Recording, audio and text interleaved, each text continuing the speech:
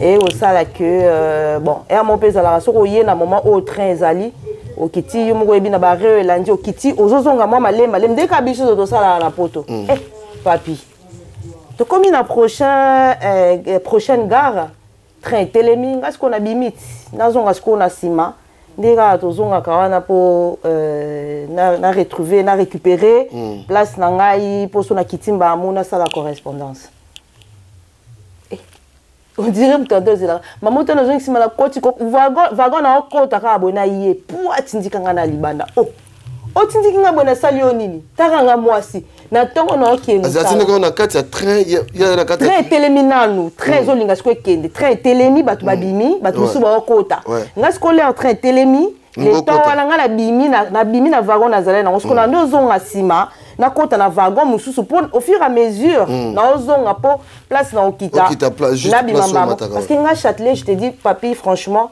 ti lelo châtelet complikaka ngai un peu mm. oyebi kaka gaka châtelet ndenge ezalaka mm. ezalaka un peu compliqué donc tellement na calcula na bacorrespondance pour ne pas ke na se perdre naza na place na ngai so na kiti mbala moko na mati nakoti atindiki nga otindiki nga likambo nini yango lelo atindiki nga oh siko nabimi na nabimi omoni ko olingi okweya nasimbi ye siko tobimi na esani tobimi libanda siko ntango tosimbi ye mpe asimbi nga nga siko na tourne nabendi ye tozonga na train parce que nga naokei mosala mm.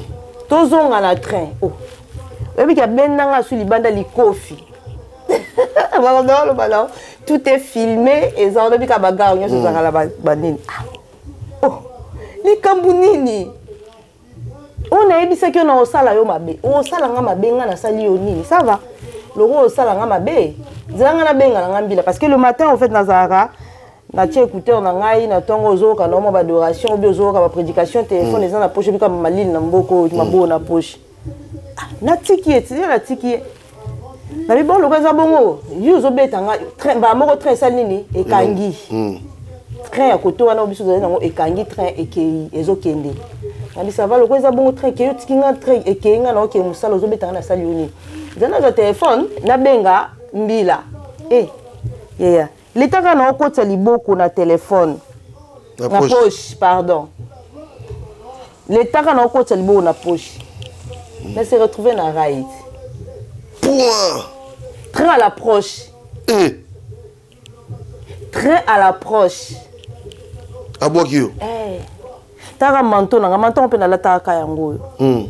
taka volume ya manto wana napasuka loboko awa oyo papi gen tolobela vie tolandaka mingi mingi papi gen tolobela vie mbe ozwi nazalaka moninga na yo te mpe nakotikalaka kozala moninga na yo te papi gen tolobela vie makambo nyonso na maboko ya papi gen tolobela vie tolobela vie papi gen emission kitoko oyo ifo kolandaka mpona kopesa makambo yango toyebisi bino ke nazalaka moninga na yo te nakotikalaka mpe kozala moninga no te mpe tokosala mpe cope te yozafa kwa ngai naza artiste donc voilà ça ne va pas non ngai shela mputu nazalaka moninga na yo te papigen tolobela vie ngai shela mputu nazalaka moninga na yo te papigen tolobela vie tolobela vie mpe nakotikalaka jamais kozala moninga na yo donc tolobela nde vie papigen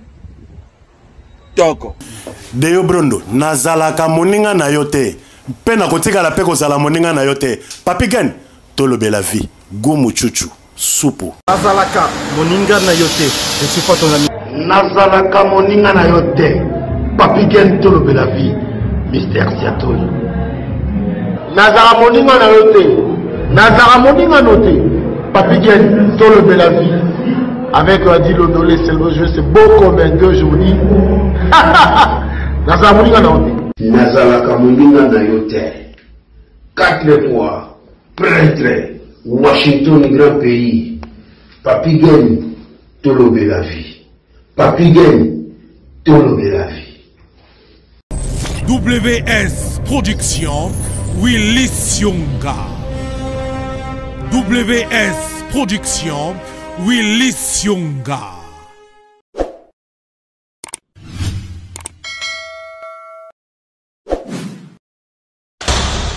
L'homme prudent voit le mal de loin.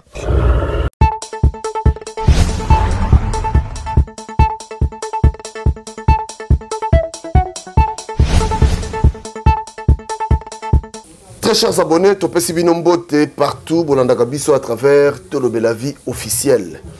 Vraiment merci na bino bandeko partout nazozwa ba coup de fil un peu partout bandeko bazobenga biso souci na biso ezalaka so moto akoti na tolobela vie bato babimaka ndenge wana te eh.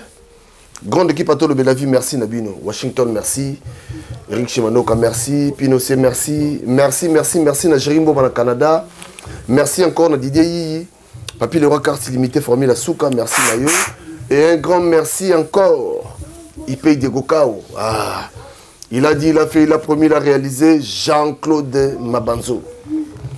Naza lelo na ndeko na biso moko mwasi mikolo oyo amonani te eh, esali mwa mikolo ebele patricia ya zoe bato bayebi patricia bato bayebi tolobela vie bayebi patricia ya zoe eh, ya eza lokola onatra na ye alongwaka te ata osali ndenge nini alongwaka te patricia bonjour bonjour papi gene ça va très bien nasepeli komona o toujours belle merci beaucoup papi ah, patricia azo eh, mikolo ebele otika biso otika biso boye likambo non non non natika bino te tu viens de dire yo moko olobi yango bien que ah, naza lokwa onatra nalongwaka te donc mm. même si nazomonana te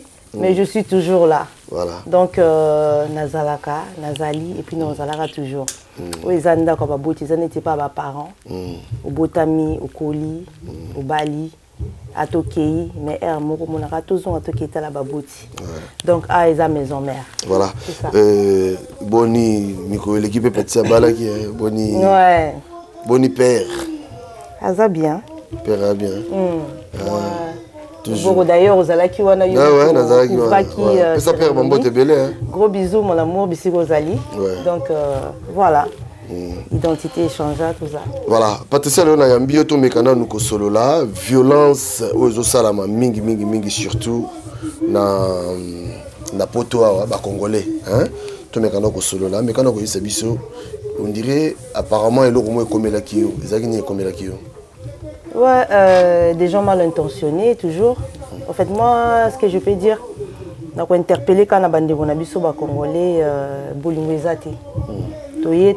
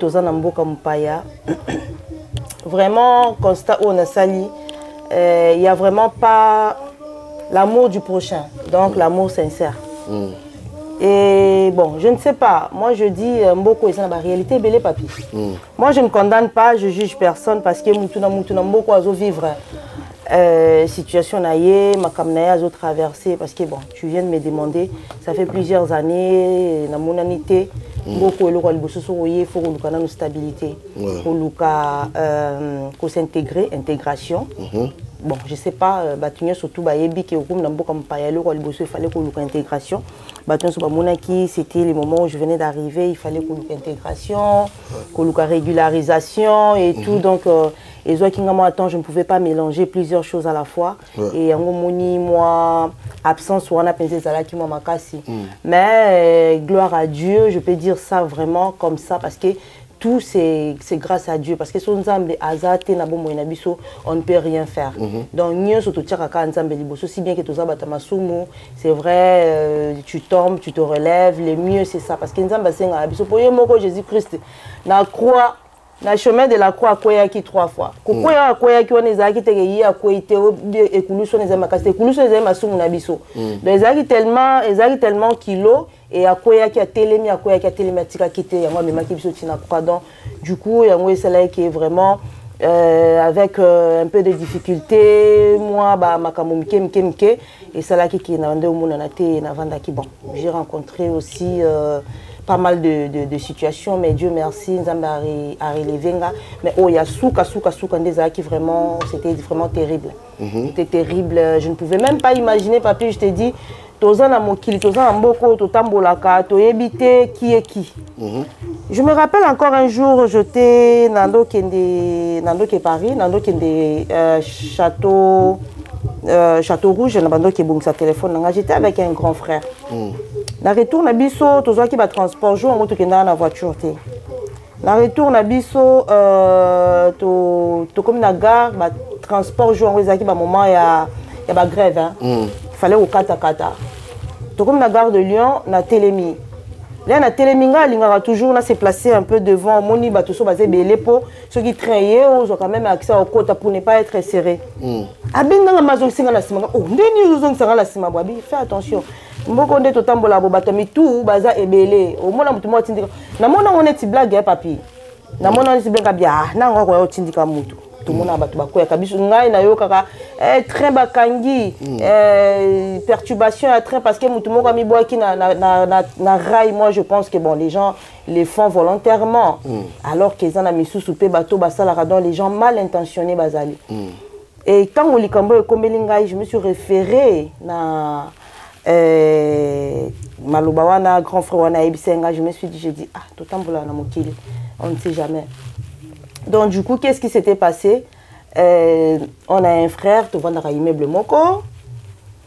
Euh, moi malentendu moko il fallait ki tosala masolo moko na ye bon après masolo yango eboutir nango na eloko te il fallait siko aremettre ngai ba biloko nga napesaki ye je ne hmm. sais pas quelle idée qui était derrière sa tête na tuni nga bon qu'est-ce qui se passe il fallait remettre ngai eloko non non non non non t'inquiète je vais te remettre et tout je dis ok d'accord natikeli ye temps je vois que les choses bajour ezopusana congolais na biso kaka ndeko na biso congolais hmm. et c'est quelqu'un avec lequel vraiment naolobango sincèrement devant dieu nazalaka soki nalambi bon na ndako bana baza te eh, moko olambi biloko boye nga père azala na belgique yo oyebi mm. nga aza na france ya mona azaka bela belgique awa ye moko oza yo moko olambi ah, biloko baprovision ebandi nango na frigo e moto aolia mm. te ezobeba mm. ah ndeko ndenge nini leka na oyo ata na bole eh, oya eh, ndeka ezalaka ye mpe azalaka ne ye moko e mopesa avandi ah mare ndenge nini kuna mwa eloko eza te ah yaka kasi baseremo mpe na nda osala mwana omema bachampagne na ndako mwa bavin oyebi kaka système tosalaka ah, nde niko leka te oyo ya kozwa naza na mwa on était vraiment bien c'était la famille mais je sais pas ce qui s'est passé ce jour là après je, je l'ai rencontré euh, le matin nabengaka ye ya telefone ayambaka na ye te ah, nabi bon de toute façon toko se croiser kaka lokola tokotaka porte moko toko se mm. croiser ntongo wana namoni ah ndeko omoni ke avec toute la gentillesse omoni ke ngomba na ngomba nde ekutanaka te me bato na bato bakutanaka me ozokima nga mpo na nini napesi yo mbongo te osali mpe eloko yango tolinga ete osala te donc personne doit à l'autre mm. mais pourquoi ozo remettre nga te eloko na ngai wana ezalaki ah, so otuni ngai lisusu eloko wana osala yo mabe o oh. ma eza ya ngai napesaki yo mpo tosalela yango masolo me soki masolo yango tosali te hmm. zongisela ngai eloko na ngai hmm. et c'était au moment c'était à la, à, à la gare esali ke train ye nga na précipité na nga nakoti na train ye mpe akimi mbangu akekota ne na wago mosusu ya nsima hmm. oyebi kaka na mboka oyo tozalaka tout est calculé ntango tobimaka na ntongo toyoke mosala motu na moto ayebaka place nakitaka so nazosala correspondance ifo nazwaka boye nasalaka boye donc eza na motu mosusu so oyebi ke nakita a place na ngai ya correspondance ya mokuse ifo namata peut-être liboso ya train hmm. donc quand tu arrives oketi liboso soki okiti mbala moko précipité mpo na rapidité awa hmm. nyonso eza calculé hmm. nga sikoyo na mosala na nga place nasalaka nga nakitaka na châtelet donc naza oblige nasala correspondance ya métro une nalingaka na kiti mbala moko nazwi escalator na mataka na nsima ya train na vraiment na quatrième porte na calcula na ngai soko na kiti nazwi na ngai escalator mbala moko chu nasali correspondance na ngai mm. e osala ke euh, bon ere moko mpe ezalaka soki oye na moment oyo train ezali okiti yo moko oyebi na bareo elandi okiti ozozonga mwa malemba lemba ndeka biso ozo tosalaka na poto mm. eh, papi tokomi na prochain, eh, eh prochaine gare train etelemi nga sikoyo na bimi nazonga sikoyo na nsima nde kaka tozongaka wana mpo euh, na retrouve na récupérer mm. place na ngai mpo so na kiti mbamu nasala correspondance eh, on dirait moto ado ezelaka mama otana ozongi nsima na koti vagon na okota kaka boye na ye po atindika ngai na libanda o oh, otindiki ngai boye nasali yo nini taka ngai mwasi na ntongo na okende azalaki ndenge oyo na kati ya train ya na kati train etelemi nanu train mm. ezolinga sikoyo ekende train etelemi bato mm. babimi bato mosusu baokota ngai sikoyo lere train etelemi letan wana ngai nabimi nabimi na vagon nazalai nango sikoyo mm. na nde ozonga nsima nakota na vagon mosusu mpo au fur et à mesure naozonga mpo place na okita nabima mbamo parce que nga châtelet je te dis papi franchement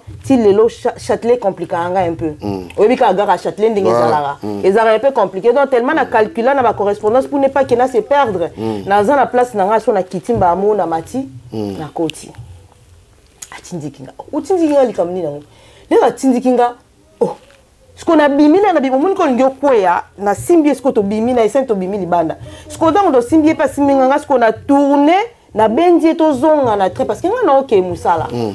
tozonga na train oh. oyebiki abenda nga asui libanda likofi bakondoloba nao tout est filmé eza olobi ka bagare nyonso ezalaka na banini likambo nini oyo nayebisaki yo na osala yo mabe osala nga mabe nga nasali yo nini ça va lokola osala nga mabe zela nga nabenga na nga mbila parce que le matin en fait nazalaka natie écouteur na ngai na ntongo ozoyoka na mwa badoration obi ozoyoka baprédication telefone eza na poche obi kama malili na mboko maboo na poche natiki ye tiye natiki ye na bibo lokola eza bongo yo ozobeta nga mbala moko train esali nini ekangi hmm. train ya koto wana biso ozali nango ekangi train ekei ezokende nabisava lokola eza bongo train ekei otiki nga train ekei nga naokee mosala ozobeta nga nasali yo nini eza nazwa telefone nabenga mbila e eh, yeya yeah, yeah. leta kaka na okotisa liboko na telefone na poche pardon leta kaka na okotisa liboko na poche na se retrouve na right point train à l'approche eh. train à l'approche abwaki yo eh. taka manto na nga manto mpe nalataka ka yango oyo hmm. taka volume ya manto wana napasuka loboko awa pasu tala kaka ke nazalaki boye mais nakwei na comprendre te façon nakwei hmm. na se retrouve en fait nayebaka te nga moko nayebaka te ndeni nakweya Papi, hello, il est Kinzambi na vie, na bichou. Je te dis, cette histoire m'a enseigné tellement que vie. Je sais parce que mon grand tondo benga, na yo, tu as un rendez-vous et tout et tout. C'était prévu tout mon na yo après Moussala. Mhm. Ce jour-là. Mhm. bango na oka okomi na komisariat na urgence nayebi sio nazana na urgence après nayebi sio ya orécupere nga na hôpital otika nga na commissariat parce que fallait na porter plainte donc euh, Voilà. Na, na, na se retrouve. Oh, et il s'arrête pas là, il, il me dit, nayebisaki yo tu vois naprometaki yo ke nakotindika yo nakotindika yo na rai yango nasali yo sikoyo natikali mama moko aza wana madame ya le train le train approche à l'approche moko ça mm. prend un peu quelques mm. siko mama wana azobenda nga nga na se siko nakwei operde neti connaissance te na perte de connaissance te mm. na perte de connaissance te nayoki mpe choc te mm. te oyebi ke ta économique oyo yaka moko ezalaka bien mm. moi sport parce que nga mpenza naza ma une femme brave eh, papi mm. eh, nga mpenza nazalaka mpenza une personne nazalaka très souple mm. lere nakwei mamo mama nazobenda nga sikoyo je sens que ntango azolinga abenda nga ngai omoni euh, force apaisante ngai, nazo, ngai mutu nazotire lisu vers le bas olie ya benda nga mamo na lashi na bise madame laisse wana train mad wana ye ezobela madame dépêchez vous le train là papi nasala force nga moko nasimba natya maboko na rai na nini na ye patemi kaka wana akimi no ntango alobeli nga bongo après mathieu escalier akimi mm. abimi ake na ye akimi mm.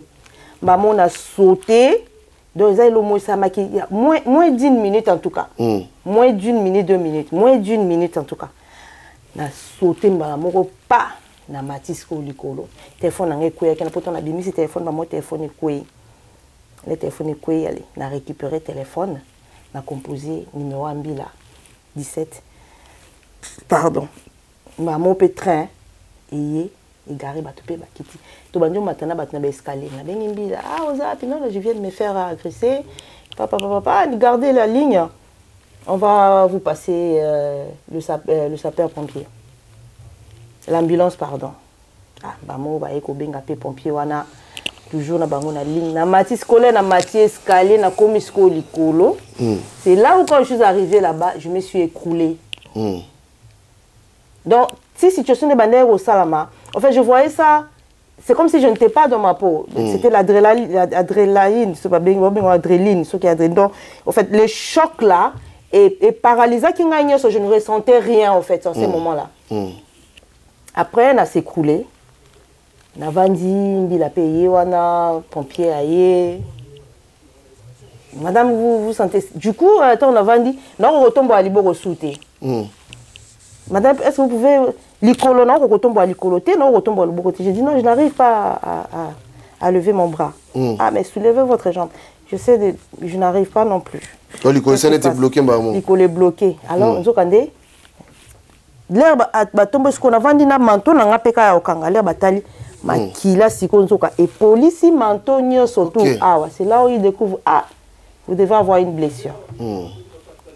bamoka babandi ofungola nga wana balongoli nga bilamba malili mpe libanda etu baye kodécouvrir ke napasuki na liboko hmm.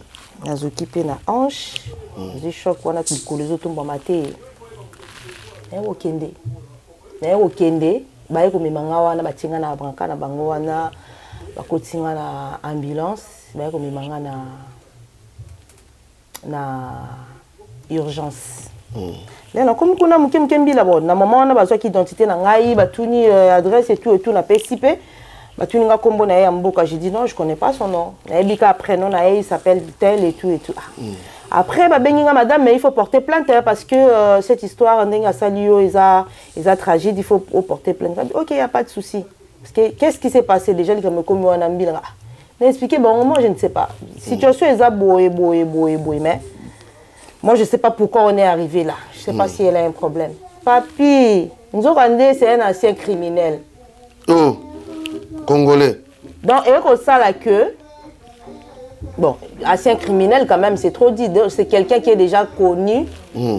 na monde ya ya ya ya mbila basilaka ngai ye na mm. babiloko wana mm. e osalaki elere nazali na urgence mpe mbila ebande kobengabenga nde kaka nayebisaki yo wana ngai papi yaka tala bona boye parce que après ona kokotambola te mm. baye kosala basoni soki naye kokende sikoyo na la police ntango nakomi kuna na la police avant nakenda la police naye kobenga sikoyo vigile na biso baagent de sécurité na biso natuni bangai botana na babwate olettre na biso na chambre numéro tel nkombo nini eza wana nde bapesa nga non na ye na boite aux lettres hmm. bapesi non napesi na mbila yaya babeta kaka boye namoni ka bayeli nga bato ebele moko bo wapi ye nga me yebi ye yo hmm.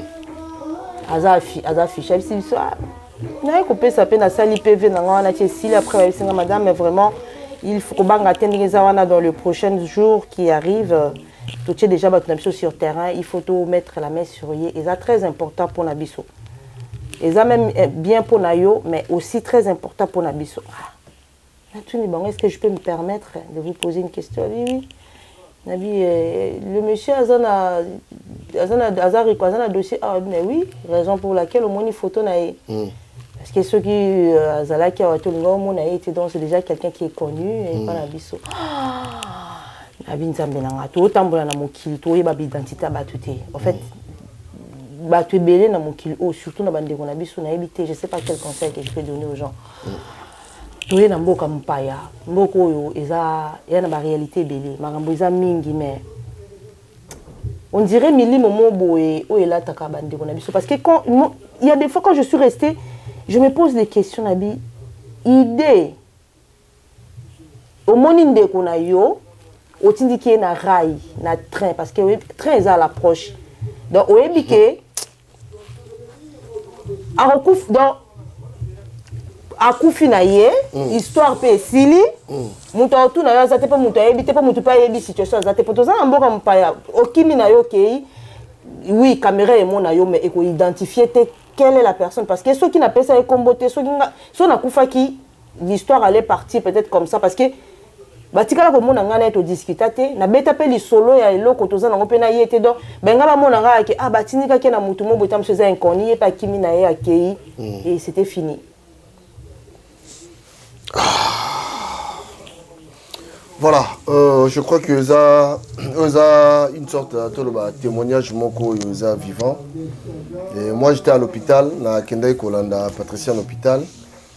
nakendeki na hôpital mokolo makambo yango esalamaki alors mpo na koloba na minute oyo makambo ya na justice eh, oyo eza lokola témoignage ndeko na biso auti nde toloba auti kofrole liwa imagine batindi ko na train train à l'approche toyebi train ça donne quoi kokwea na ra ya train train ezoya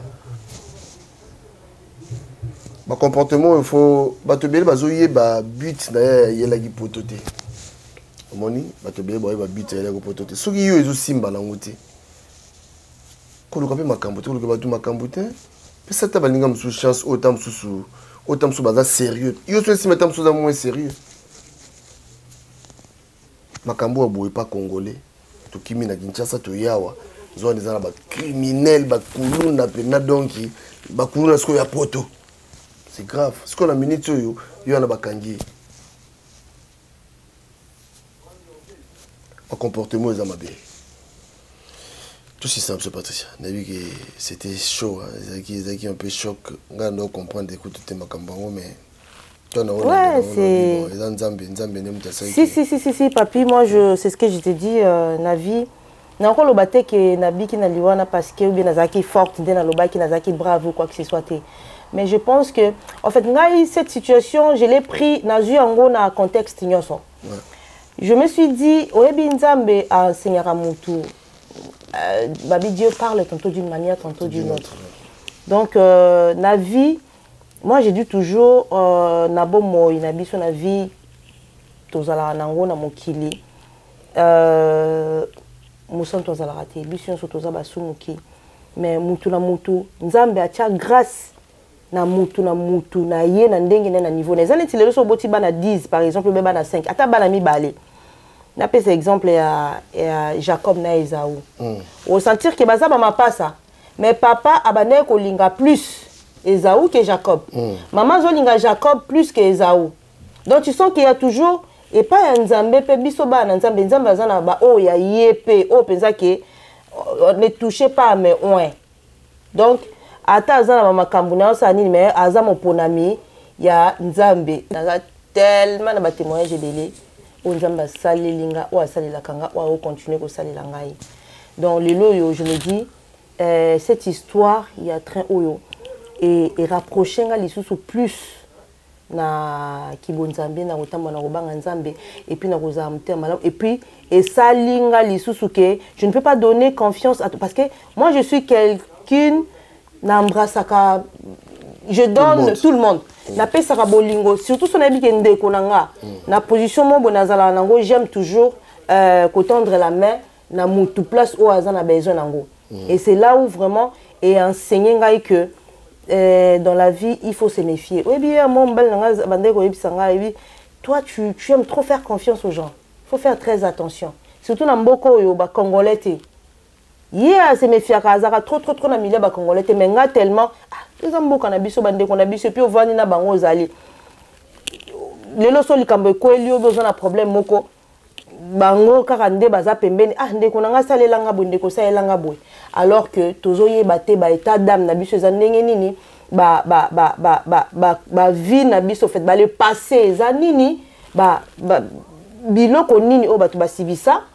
ba choc nini baza nango ba, ba, ba biloko nini baza nango na mitu makanisi na bango ezalaka nini on ne sait pas ce qui se passe derrière la tête des gens ozopesa mutu bolingo ozopesa mutu omoni ke wana ndeko na yo wana famille alors ke ye na nsima mutu na oyebi te eloko nini aza nango donc moi tout ce que je peux interpeller aux gens eza que papi il faut tosambelaka to il faut le matin quand tu te lèves tu pries le soir quand tu rentres tu pries quand tu sors parce que toza exposé na liwa a tout moment et mutu moko te na se na moi oyo ayebi quand est ce que quand comment où akoki okufa okufela na ndenge nini et ozala wapi et ekozala ndenge nini ekoyela ndenge nini parce que je me disais imagine toi lelo oyo bato baapprendre e eh, mona navanda na yo sazamikabi nzambe liwa ya ndenge nini ngai nalingani nakufa les gens allait interpréter comment parce que mokili lelo oyo papi bato bakoma komona kaka bato bakoma kofuye na moto akufi ma bazokende kofuye kaka mabe baluka kaka eloko ya mabe mpo babimisa baloba mm. les gens ne témoignent plus de bonnes choses nous à l'époque toyebaka ke moto soki aza mabe soki akufi akoyi moto malamu mais aujourd'hui ce n'est plus le cas lelo ekoma moto soki akufi bazokende koluka nde lisusu bamabe na ye ofait bacloue ye lisusu na ekulusu et je me dis nzambe mokili parce que moto azalaka na étoile balobelaka ye kaka babi baloba yo na mabe me bakuta yo nango te mm. maintenant sikoyo nzambe bamoni okufi na o oh, train batindikaki na train akufi le monsieur ne savait même pas quel traumatisme allait naître dans la vie de mes enfants de ma famille de ma, mes entourages na nga moko je pense que mutu moko liwa moko mutu akufi mais molimo ne e, ekoma ezo déranger mm. donc c'est là où quand je reste je dis dieu m'aime dieu est amour nzambe alingaka ngai en fait nzambe ayebi ngai au-delà de tout ce que je peux faire dans la vie, en dépit de tout, na nyoso ngai na sala na vie, donc je me dis quelque part, ce qui nous est arrivé ko sauver ngai na train à l'approche parce que tout le monde a kanamboko papi, ba train eyaka toujours tosanganaka ezalaka toujours boye moko eza na koto mosusu eza na koto oyo mm. ezalaka un peu rare ke omona ke mosusu eyaki après ekei après mosusu eyaki à l'approche donc surtout le matin heure d'attaque mm. c'était à 6h59 7h moin donc à 7h juste c'était heure d'attaque et puis heure d'attaque wana ezalaka ba train esalaka kaka boye mais Dieu m'a épargné donc Nzambe abimisi nga na kati eloko wana aujourd'hui je me dis non Dieu est merveilleux ça c'est c'est un témoignage oyo ke Nzambe alingi asalela nga eloko moko boye ya munene ya makasi et Dieu veut me passer dans des situations pareilles pour que lobi so nabimi avec yango na banda ko témoigner parce que ba témoignage makambo eza ebele